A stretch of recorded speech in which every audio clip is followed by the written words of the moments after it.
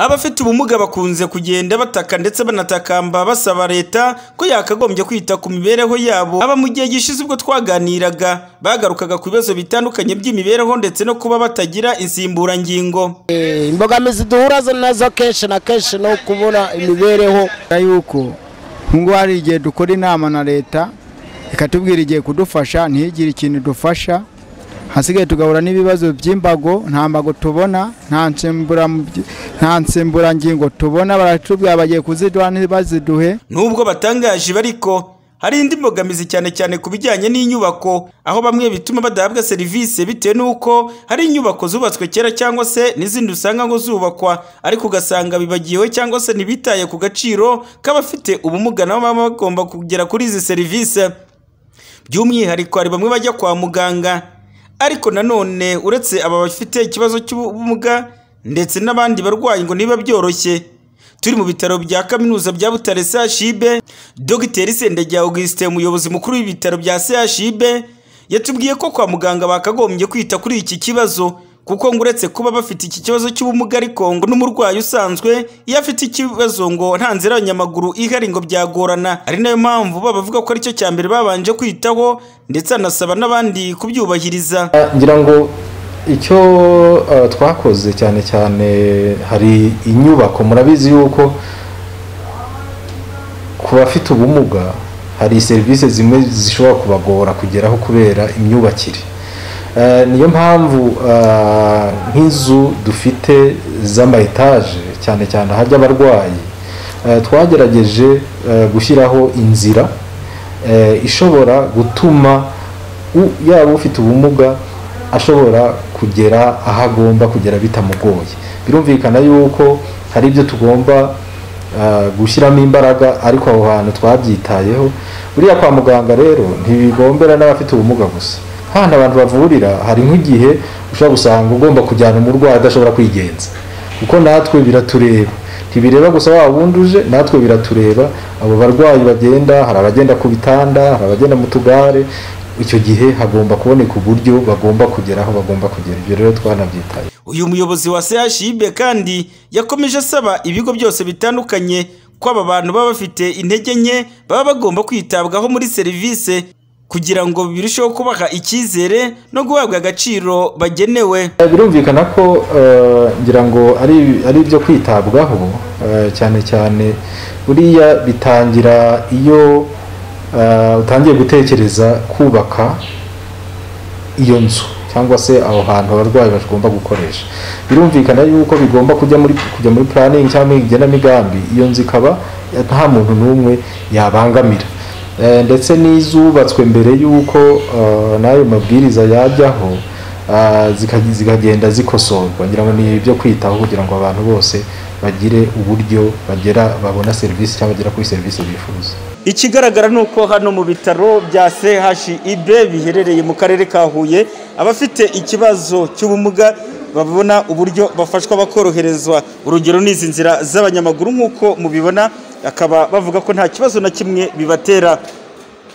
Ku bitaro bikuru bya kaminuza y'u Rwanda i Butare CHUB ndi Celestin Ntawuyirusha amaboko BTN TV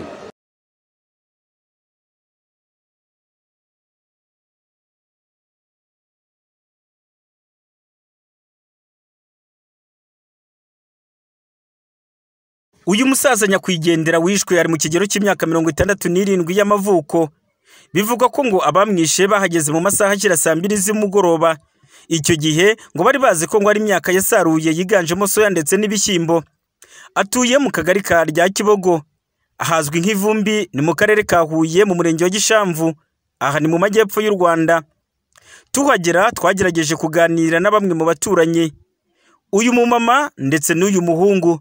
Baratubwira uko uyu musaza ngo yateraguye ibyuma kugeza ubwo bamuciye amatwi yemwe bakamujombagura n'ibindi byuma mu mbavu ubundi akaza gushyiramo umwuka ku bitaro bikuru bya kaminuza bya butare CHUB nk'uko babivuga. Uwo muntu batemaguye hari saa kumi n'ebyiri z'umugoroba. Umudamu we ngo yari yagiye ku isoko. Ubwo ngubwo rero ngo yagiye kubonabona abantu bamusanze mu rugo baramwinjirana mu nzu aho yari yicaye barangije baravuga bati duha ibintu dushaka. Umusaza aravuga ati igihe ntabyo mbaha nimushaka mu gice ntabyo mbaha. Birangiye ayo mabandi arahita amufata aramutemagura nawe aryama ku mifuka ngo y'ibishyimbo yari afite barangije baramucagagura aratogoka agwa nk'ahariya hepfo mu ntanzi z'urugo. Birangira rero imifuka bayikoreye bamwe bahuye n'umudamu we bavuye no kumwiba. Bamaze kumutemagura. Byarangiye uwo musaza bamujyanye kwa muganga aruhira n'iyo arinda n'iyo apfa. Yari umusaza mukuru. Yari afite imyaka mirongo itandatu n'irindwi. Ni amabandi. Ikintu twifuza ni nk'abantu baducungira umutekano ariko bahetse imbunda. Kuko ino haba amabandi. Baduhaye abasirikare byaba byiza. Nk'uno muhanda wo rwose uyu muhanda dore bakunda kwihisha muri iki gice cy'aha hirya. Bakunda kuhihisha. Amabandi arakabije inanga ukereka baduhaye abasirikare.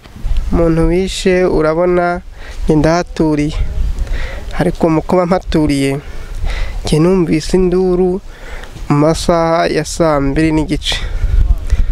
Numvise induru mu masaha mbiri n'igice ndwana njya gutabara. Ngiye gutabara mpahurira n'abandi. Mpahuriye n'abandi turebye ukuntu bamugize eh. Nkimara kubibona. Kuko ari ubwa mbere nari mbonye umuntu wangiritse gutyo. Hari bamutemye amatwi hari bamutemye mu gihanga mu mutwe.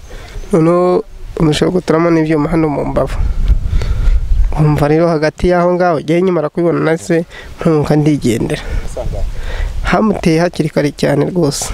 Nyuma yo kudusobanurira ibi byatumye twegera umuyobozi w'akarere ka huye bwana sebutege ange maze ku murongo wa telefone aduhamiriza urupfu rw'uno musaza ndetse anatubwira ko abantu bagera kuri bane bamaze gutabwa muri yombi. Aha twavuganye ku murongo wa telefone. Kandi n'abo bajura barafashwe ni abantu bari bagiye kwiba imyaka mu rugo rwe. Bafashwe ni bane? Yego wa musaza nawe ngo yitabye imana. Komeza gusigasira umutekano. Ikibazo cy'ubwicanyi muri aka karere ka huye cyane cyane abantu usanga bashingiye ku mitungo ntibwari bukunze kugaragara cyane muri iyi minsi kuko abamwe bagenda bagaragara usanga baterwa kuko bamwe usanga bagaragara batezwe ubundi ugasanga bakomeretse ariko ntibashiremo umwuka. Ikindi kandi ngo uyu musaza we yanze ngo guharira bano bajura kugira ngo be bamureka ahubwo we aryama ku myaka ye ababwira ko atabarekurira soya ye ariko ngo baje kugira umujinya bamubwira ko nabo bagiye kumubona ariko bahise bamuteragura ibyuma ubwo.